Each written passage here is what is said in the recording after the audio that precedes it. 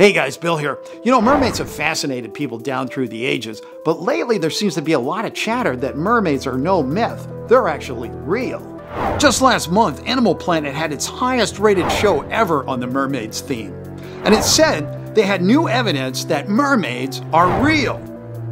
But word soon came out that scenes like this may have been staged with actors, and the mermaid in it was a computer generated animation. On the other hand, if there are people out there who didn't believe it was computer generated, that's scary. And one of the so called scientists in the show was compared to looking like Alan from The Hangover. Another bizarre twist in this mermaids are real phenomena that's going on right now are these photos that spread across the internet.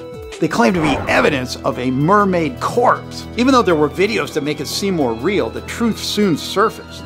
It was the work of a taxidermist artist named Juan Cabana from Tampa, Florida. It was all part of a hoax to help him sell his creation on eBay, which he got $1,500 for.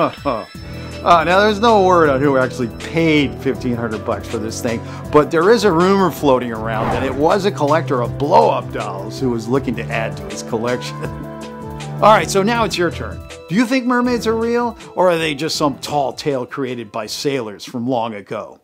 Let me know your opinion in the comments section below.